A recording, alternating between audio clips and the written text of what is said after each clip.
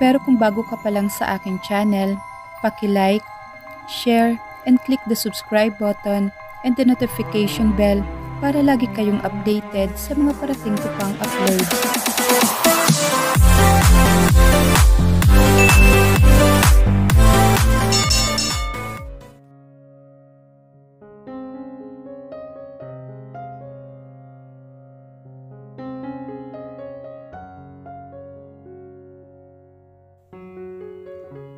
Pagkatapos nila mag-usap ni Sebastian, pinuntahan niya si Ariana sa kwarto nito. Alam niya nagtatampo ito kanina. Binuksan niya ang kwarto nito na parang kwarto ng isang prinsesa. Hindi na siya magtataka dahil alam niyang may pagka-spoiler talaga si Sebastian. Nakita niyang nakaupo ito sa tapat ng isang malaking dollhouse. Mag-isa lang itong naglalaro. Saglit na sinulyapan siya nito pero agad ding ibinalik ang tingin sa nilalaro. Hi! Bati niya dito pero hindi ito umimik sa kanya. Anong nilalaro mo? Tanong niya ulit. Naupo siya sa tabi nito. Pwede ba akong sumali? Tumingin sa kanya si Ariana na may nagbabadyang luha sa mga mata nito. Hinaplos niya ang pisngi nito. Nagtatampo ka ba kay mama? Malambing na tanong niya dito. Nanlaki naman ang mga mata nito. Sorry ha, hindi ka kasi agad nakilala ni mama kanina. Ganito ka lang kaliit noong huli kitang makita. Ipinakita niya dito ang hintuturo at hinlalaki niya. Nakakaunti lang ang uwang. Bumilog ang mga mata nito. Ganyan lang po ako kaliit. Namamakhang anito. Natawa siya dahil sa reaksyon nito. Oo, tapos, ang cute-cute mo. Pinanggigilan niyang pisilin ang magkabilang pisngi nito. Kumagikik ito. Tapos, ang lambot-lambot mo at ang bango-bango mo. Kinalong niya ito. Yumakap naman ito sa leeg niya at inihihilig ang ulo sa balikat niya. I miss you, Mama. Malambing na bulong nito. I miss you too, sweetie. Naluluhang aniya sa kaito hinalikan sa ulo. Kinagat niya ang ibabang labi para pigilan ang luha. Alam niyang hanggang pangarap na lang ang ganito. Mayakap ang anak. Hindi man niya kadugo si Ariana. Pero para sa puso niya, siya ang ina nito. Anak niya ito at mahal na mahal niya. Hindi na po kayo aalis? Hindi niyo na po kami uli iiwan ni Papa? Inosenteng tanong nito. Hindi na. Hinding hindi ka na iiwan ni Mama, kayo ni Papa.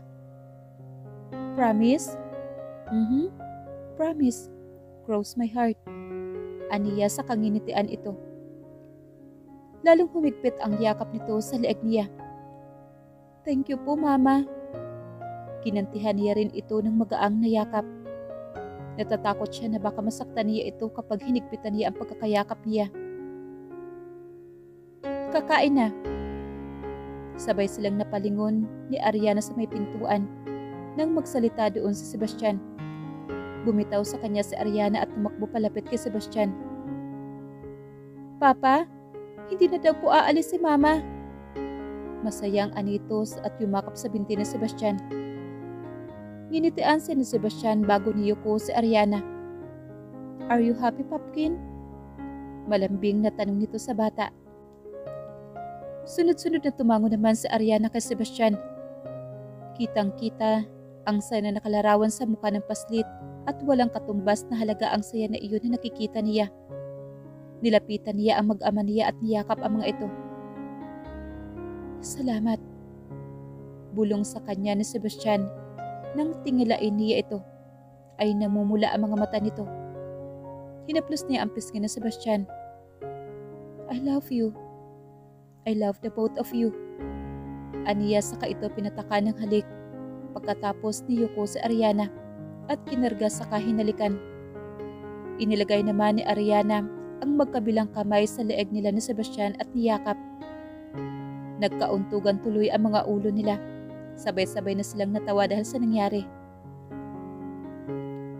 Pagkatapos ng hapunan ay dinala niya si Ariana sa kwarto nito. Pinaliguan at binihisa niya si Ariana. bago dinala sa kama at binasa ng libro hanggang sa makatulog ito. Ang tagal niyang tinitigan si Ariana. Masaya siya na bukod sa ayos na sila ni Sebastian, ay binigyan siya nito ng pagkakataon na maging ina nito. Nangangako siyang mamahalin ni ito at higit pa sa tunay na anak. Ibibigay niya dito ang lahat ng pagmamahal na dapat sana ay para sa namatay niyang anak. Gagawin niya ang lahat para maging isang mabuting ina dito. Noong alam niyang himping ito ay hinila na niya ang kumot para ikumot dito at saka ito iniwanan. Pagpasok niya sa kwarto na abutan niya si Sebastian na nakaupo sa kama at hirap na inaalis ang sapatos nito. Agad siyang lumapit dito at naupo sa paanan nito. Saka siya na mismo ang nagtanggal ng mga sapatos at mga medyas nito. Thanks, anito na matiim na nakatingin sa kanya. I'll be fine soon, I promise. Hindi ako magiging pabigat sa'yo dahil ang sapa ako. Anito na nakatiim bagang. Nginitian niya ito para i-assure dito na wala itong dapat ipag-alala. Itinupi niya ang laylay ng pantalon nito hanggang tuhod Tumambad sa kanya ang malaking pilat sa binti nito hanggang tuhod. Marahan niya yung pinaraanan ng kanyang kamay. Narinig niyang suminghap ito. Nang tingalain niya ito, nakita niya ang apoy sa mga mata nito na tumutulay sa bawat himaymay ng kalamnan niya. Ramdam niya ang init na nararamdaman nito sa pagkakalapit nila. God knows how much I want to make love to you, but I'm afraid I can perform well and the stem condition. Mahinang anito sa bawat salita ay ramdam niya ang init na nararamdaman nito.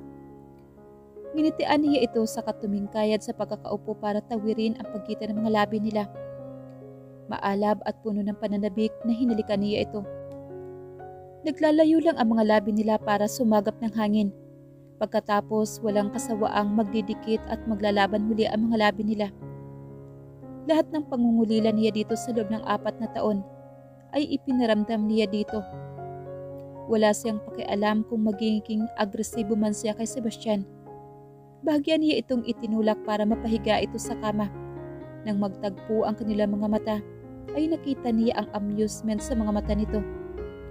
Ginitian niya lang uli ito saka inisa isang tinanggal ang botones ng polo nito. Ang mga kamay naman nito ay bahagyang humahaplo sa gilid ng balakang niya na nagbibigay ng kakaibang init na gumagapang sa katawan niya. Is this what Melbourne taught you? Magkasalubong ang kilay na tanong nito sa kanya. No, natatawang sagot niya nang mahimigan ang salo sa boses nito. Idinikit niya ang noo sa noo nito. Dahil miss na miss na kita. In the past four years, gusto kong bumawi sa lahat ng bagay na kaya ko. At isa pa, namiss ko to ng sobra. Aniya sa kahinalikan ang mga talukap ng mga mata nito. Ang mga haplos at halik mo. Hinihingal na aniya at sinalubong ang titig nito na punong-puno ng pagnanasa. Ang maramdaman ka sa loob ko. You miss that? Paos na tanong ni Sebastian. Parang nagsisikip ang paghinga nito at mas humigpit ang kapit nito sa balakang niya. Alat. But I'm afraid I can't give my 100% right now. It doesn't matter. Just teach me what to do. You're driving me crazy, Dana. Me Sebastian. Me. Muling naghumagpong ang mga labi nila hanggang sa tuluyan na nilang pawiin ang pangungulila sa isa't isa. Kinabukasan bumiyahe sila pabalik ng San Ignacio. Dumiretso sila sa bahay nila para kumustahin ang itay niya. Umiyak ang itay niya pagkakita sa kanya, kaya hindi niya rin napigil ang mapaiyak. Pinaliwanag niya dito ang sitwasyon nilang mag-asawa at ang tungkol kay Ariana. Tanggap naman ng mga ito sa Ariana at nangangakong ililihim ang tunay na pagkatao ng bata. Giliw na giliw ang itay niya at ang lola niya kay Ariana kaya naman hinayaan niya na muna ang mga ito. Nilapitan niya si Dani at Sebastian na nagiinuman sa labas ng bahay nila. Agad na napangiti si Sebastian nang makita siyang papalapit sa mga ito. Mukhang masinsinan yata ang pinag-uusapan niyo ah. Aniya na makalapit sa mga ito. Naupo siya sa tabi ni Sebastian. Tungkol sa almendra. Sagot naman ni Danny. Ito na kasi ang tumatayong CEO sa kumpanya ng lolo nila. Isinali na rin ni Sebastian sa pangalan niya ang share na nakuha nito nang pinakasalan siya nito. Tumango siya at binalingan si Sebastian. Huwag ka masyadong uminom. Aniya dito. Uuwi pa kasi sila sa bahay na ipinagawa nito noong nasa log house pa sila.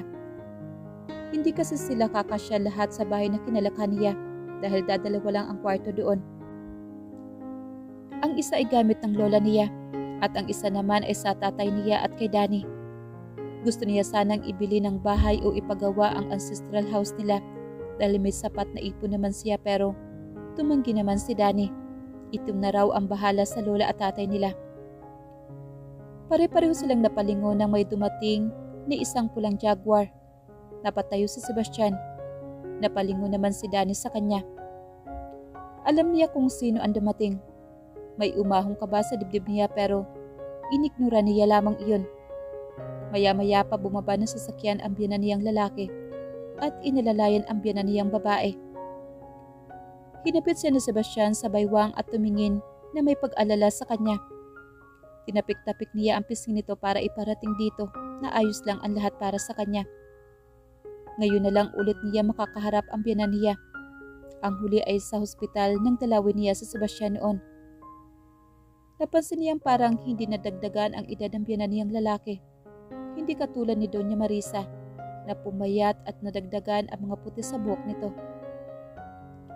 Nang makalapit sa kanila ang mag-asawa, ay agad na niyakap ni Doña Marisa sa Sebastian. Nabalitaan kong umuwi kayo ng San Ignacio at dito kayo tumuloy. Anito at sumulyap sa kanya. Narinig niyang bumuntong hininga sa Sebastian. Ma'am, ayoko ng gulo. Oh no no no no iho. We're not here for that. Agap ng Donya. I just want to talk to my daughter-in-law Anito at sinulapan siya. Napatingin naman siya kay Sebastian, maging ito ay halata ang pagkabigla. Ginitian niya sa Sebastian kahit paabot-abot ang kaba na kanyang nadarama. Tumango siya sa Donya. Sila Sebastian naman ay pumasok na sa loob ng bahay kasama ang biyanan niyang lalaki na mahigpit na pinisil ang balikat niya. Upo ho kayo. Aniya at itinuro ang kawayang sofa na nilabas ng kapatid niya. Sumunod ito. Naupo naman siya sa tapat nito. Matagal na katahimikan ang namayani sa kanila bago ito nagsalita. I'm sorry, Iha. Napatingin siya dito. Sinisiguro kung tama ba ang kanyang narinig. Patawarin mo ako sa lahat ng ginawa ko sa iyo. Pumatak ang luha nito. Ginagap nito ang kamay niya. Hindi naman niya alam kung ano ang dapat maramdaman. Gusto niya itong sumbatan at magalit dito pero para saan pa? Nangyari na ang nangyari at hindi na maibabalik ng galit at sumbat ang apat na taon. Patawarin mo ako sa lahat ng kasalanan ko. Humagulhol ito. Tumayo naman siya at naupo sa tabi nito at niyakap ito. Kahit kailan hindi niya naisip na dadating ang oras na magpapakumbaba ang mami ni Sebastian at hihingi ng tawad sa kanya. Mataas ang tingin nito sa sarili para humingi ng tawad sa kahit sinumang nagawa nito ng kasalanan. Kaya alam niya, bukal sa puso nito ang paghingi ng tawad. At sino siya para hindi ibigay iyon? Nakaraan na po iyon Pinapatawad ko na po kayo sa kung ano man po ang nagawa niyo sa akin. Wika ni Dana. Yumakap din ito sa kanya at magulho ng iyak. Patawarin niyo ako. Alam kong malaki ang naging kasalanan ko sa inyong mag-asawa. Lalo na kay Sebastian. Nakita ko kung gaano kaniya kamahal. Simula nang mawala ka, hindi ko na nakita ngumiti ang anak ko. Hindi na rin siya muling lumalapit sa akin Hinagod niya ang likod nito para mapakalma ito. Naging bulag ako sa totoong kulay ni Lucy. At ngayon ko mas napatunayan na hindi lahat ng mayayaman at edukada kasing buti ng puso mo. Nagpapasalamat ako dahil bumalik ka sa anak ko, Dana. Dinukot nito ang panyo sa bag nito at pinunasan ang mga luha. Nanatili siyang tahimik na lumuluha. Masaya siya dahil nagiging maayos na ang lahat. Pati ang relasyon niya sa biyanan ay unti-unti nang gumaganda. Alam ko kalibisan na ito pero maaari mo bang tanggapin bilang tunay na anak si Ariana? Wika ng Donya. Sunod-sunod siyang tumango dito. Opo, ituturing ko po siya bilang sarili kong tunay na anak. Umiiyak na sagot niya dito. Muli siya nitong niyakap at pinasalamatan. Sa ganoong ayos sila dinatna ni Sebastian at ng daddy nito. Agad na lumapit si Sebastian sa kanila. Ma'am, tawag nito sa ina. Agad naman na tumayo ang Donya at yumakap kay Sebastian. I'm sorry anak, I'm sorry. Anito. Gumanti ng yakap si Sebastian dito. It's in the past now, ma'am. Alo nito sa ina sa kaniyakap ito gamit ang isang kamay nito. Habang ang isa ay nakahawak sa tungkod nito. Nakangiti pa rin si Dana habang nasa daan na sila sakay ng kotse ni Sebastian. Nasa backseat sila at nasa gitna nila tulog na tulog naman si Ariana. Masyado atang napagod sa kakalaro kasama ang itay niya. Kanina ka pa nakangiti. Napalingon siya na magsalita sa Sebastian sa tabi niya. Masaya lang ako. Hindi ko akalain na matatanggap ako ng mami mo. Akala ko habang buhay na siyang disappointed sa akin. Aniya dito. Para bang may mabagit na nakadagan sa kanya nang biglang nawala dahil sa pagkakaayos nila ng kanyang biyanan. Masaya siya dahil sa wakas ay natanggap na rin siya nito. Ngayon niya masasabi na talagang buo na ang pamilya nila. Makakatulog na siya sa gabi nang walang iniisip na may galit sa kanya. I'm glad na napatawad mo si Mami. Uwi ka naman ni Sebastian. Magagawa ko bang magalit sa babaeng nagbigay ng buhay sa'yo? Dapat pa nga akong tumanaw ng utang na loob sa kanya. Dahil kung hindi dahil sa mami mo, Walang Sebastian del Carmen na magmamahal sa akin ng katulad ng pagmamahal mo. Kahit na, kahit na hindi man lang naging maganda ang umpisa natin, nagpapasalamat pa rin ako sa Diyos. Masuyong hinaplos nito ang mukha niya sa kasiya kinintala ng magaan na halik sa mga labi. Napatawad mo na ba ako sa kasalanan ko sa iyo? Tanong ni Sebastian. Malamlam ang mga mata nitong nakatingin sa kanya. Marahan namang tumango si Dana. Salamat. Mahinang anito sa katinawid ang pagitan ng mga labi nila. Tinugon niya iyon. Natigil lang sila nang umingit si Juliana dahil naiipit na pala nila. Pareho na lang silang nagtatawanan at naghiwalay. Isang mansyon ang bahay na sinasabi ni Sebastian. Nakita niya noon ang blueprint nito pero hindi niya alam na ganito iyong kaganda sa personal. Si Sebastian ang personal na nagdisenyo ng mansyon. It was a mid-colonial inspired. Purong puti ang pintura na napapalibutan ng glass wall, habang sa gilid naman ay isang Olympic-sized swimming pool. Mayroon ding napakalawak na garden na may gazebo sa gitna at water fountain sa gilid. You like it? Tanong ni Sebastian sa kanya na makababa sila sa sasakyan. Sunod-sunod siyang napatango. I love it. Manghang aniya dito. Lumapit sa kanya ang isang katulong at kinuha sa kanya si Ariana para ipasok sa loob. Come here. I'll show you something. Anito sa kasya iginiya paikot sa likod ng bahay. Isang pathway na napapaligiran ng mga nagagandahang roses ang dinadaanan nila. Bawat dalawang kilometro ay may poste kabilaan kaya maliwanag ang tinaraanan nila. Napasinghap siya na makita ang likuran ng mansyon. Isang malaking lawa at dahil sa pinaghalong liwanag ng bilog na buwan at sa liwanag na mansyon, mas nagmukha itong enchanting. Sumasalamin sa lawa ang liwanag ng buwan. Marami ring mga puno sa paligid at may mga alitaptap na lumilipad.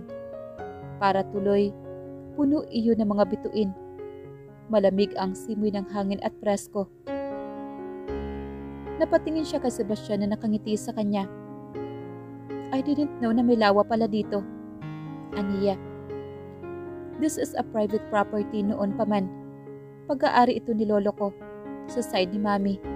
At dahil nag-iisang anak si mami, sa kanya ito. Sa kanya ito ipinamana. At ipinamana naman niya sa akin. Paliwanag nito. Itinuro nito ang kabilang side ng lawa. Kapag binangka mo iyon, mararating mo ang log house. Hinapit siya nito sa baywang papalapit dito. Halika. Saan? Takang tanong niya dito. Gusto niya pa kasing manatili doon para pagmasdan ang napakagandang lawa at ang mga alitap-tap. Hindi ito umimik at hinila siya sa isang puno ng nara. Sa ilalim noon ay may rebolto ng isang bata. Isang batang babae na may maikling buhok at maamong mukha. Sa paligid niyon ay mga angel's breath na bulaklak na iba't iba ang kulay. May mga pink, white, sky blue. Napaluhod siya sa rebolto. Nanginginig ang kamay na hinaplos niya ang pisngi ng bata. Sa ilalim ng reboltong iyon nakalibing ang anak natin. Narinig niyang wika ni Sebastian. Kinuha ko siya sa ospital. Gusto kong malapit siya sa atin na parang kasama lang natin siya sa araw-araw. Ayoko siyang kalimutan. Anito na basag ang boses. Nilingon naman niya ito. Hilam na rin sa luha ang mga mata niya. Kitang-kita niya ang sakit sa mga mata nito. Sumigid ang guilt sa kanya. Sa loob ng apat na taon, sariling sakit at paghihirap niya lang ang nakikita niya. Nakalimutan niyang masakit din pala sa isang ama na mawala ng anak. Naging selfish siya para isisi dito ang lahat at iwanan ito. At mas nakokonsensya siya dahil sa lahat ng iyon. Nandito pa rin sa tabi niya si Sebastian. Tumayo siya at niyakap ito. I love you, Sebastian. I love you for the rest of our lives no matter what happened from here on. Pangako niya. Mamahalin niya ito at kahit ano pang dumating sa kanila, hinding hindi siya aalis sa tabi nito. I love you more. Wika ni Sebastian. Napangiti si Dana na makita ang resulta.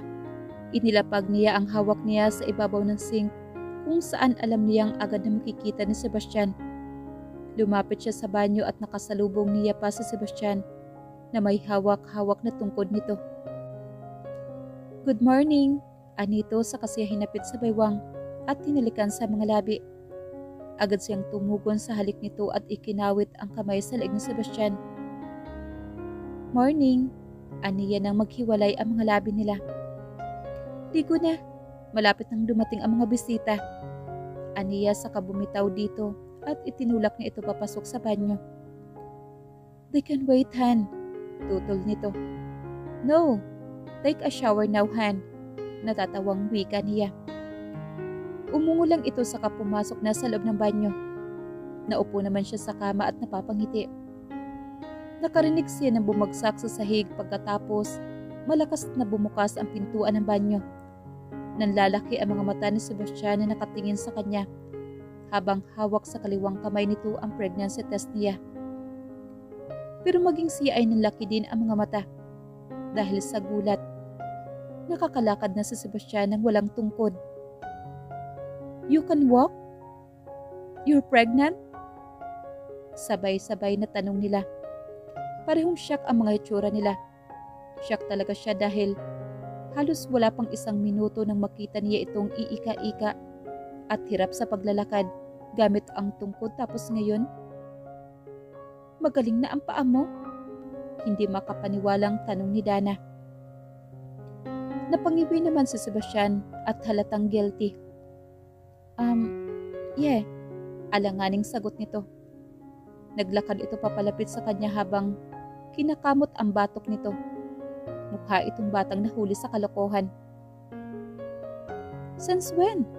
Naniningkit ang mga mata na tanong niya dito. Ngumiti lang ito sa kaniyakap siya mula sa likuran.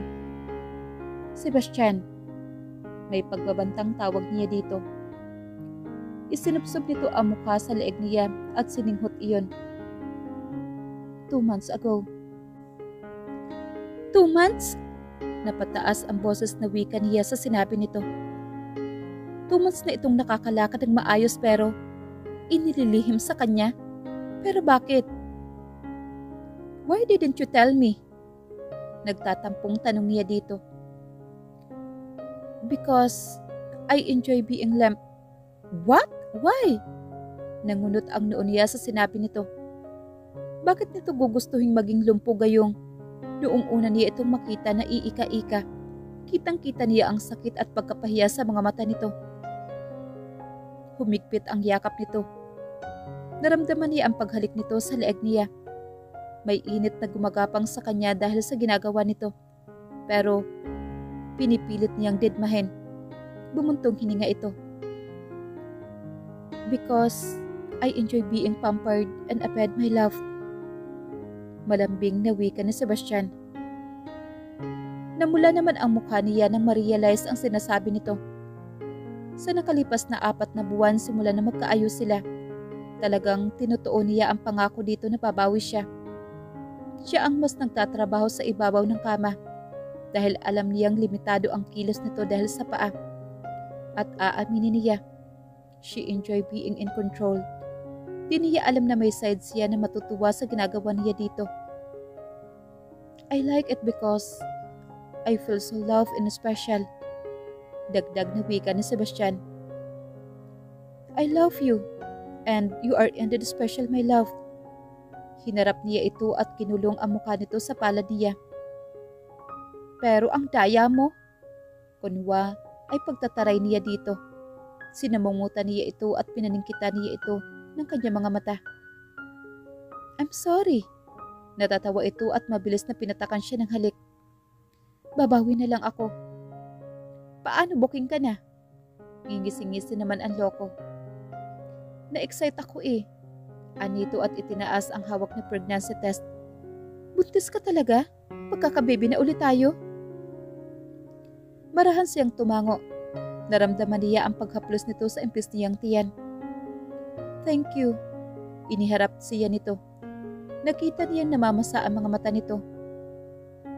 Hindi ko nahahayaang may mangyari sa inyong mag-ina. Mas dodoblohin ko o titriplehin ko ang pag-aalaga at pagmamahal ko sa inyo. Basag ang boses na wika nito. Hindi hindi ko na uulitin yung pagkakamaling nagawa ko noon. Hindi kasalanan na mas pinili mo kaming huwag masaktan doon sa katotohanan.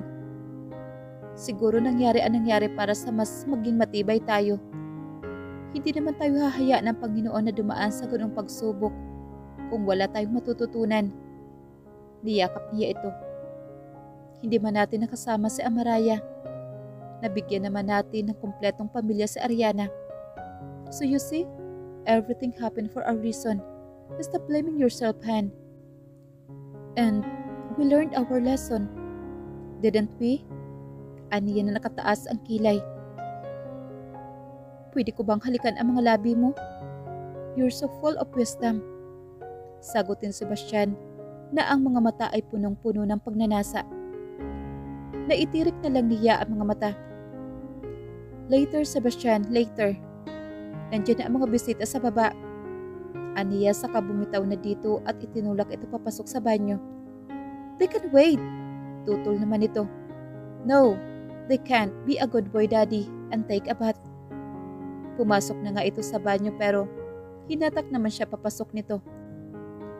Paliguan mo ako. Anito na may pilyong ngiti sa mga labi. Sebastian, aniya, na mapilis na pinamulahan ng mukha pero naging sunod-sunura naman ng ikiya na siya nito papasok sa shower at isa-isang tanggalin ang kanyang saplot.